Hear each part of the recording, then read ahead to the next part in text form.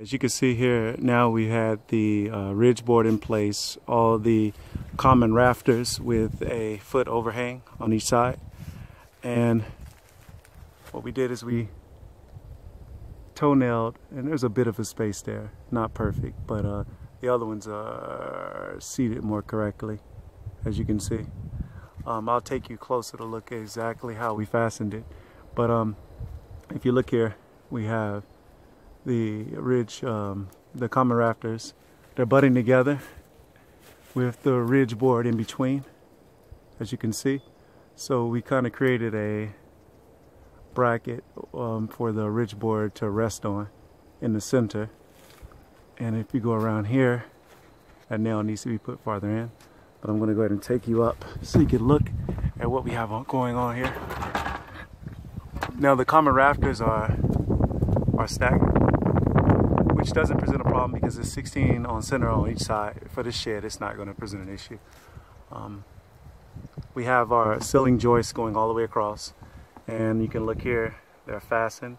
So the common rafter is toe-nailed and then fastened to the ceiling joist, which runs all the way across the whole span of the shed and does the same thing on this side.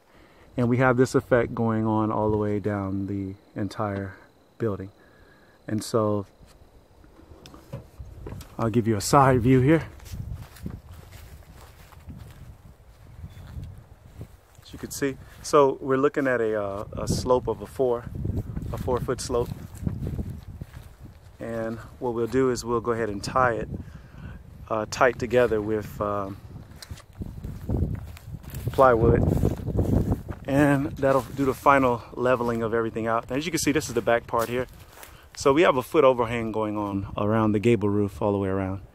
And the foundation is actually an older foundation that was put up by a friend of ours uh, a year ago. And so I just tore down the structure that he had begun and we created a new structure uh, on top of the foundation in which he set up.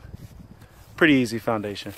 And um, the studs are, uh, again, 16 on center. And you can look around here. Here goes the back side. I may cut a window out later, but uh, I'll frame it first and then cut the windows out if we need those uh, later. But pretty much there you have it. Um, the majority of the weight is going to uh, actually bear down on the left and right uh, side walls on the length of the building. And so we put the ceiling joists up in order to kind of offset the uh, weight from pushing the walls outward. So that'll come in handy later. And that's pretty standard for any framing. And if you go on this side, we have the same thing going on. The actual ends of the common rafters are a foot overhang.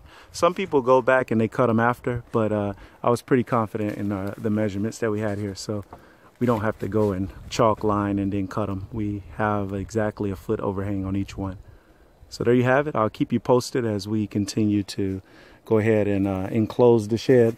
And then we'll finally install a door here on front and that will complete our project. So I'll go ahead and give you one shot of that. there we have it. And press forward. I'll keep you posted.